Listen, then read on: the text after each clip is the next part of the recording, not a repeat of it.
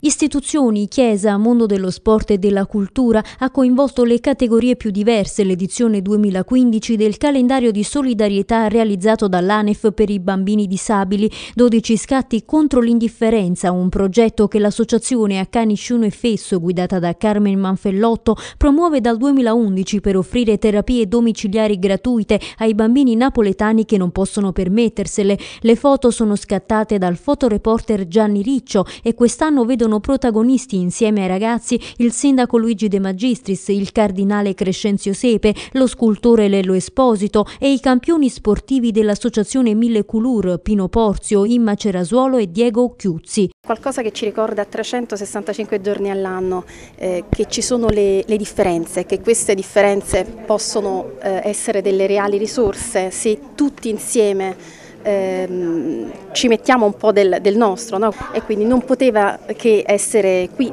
presente l'amministrazione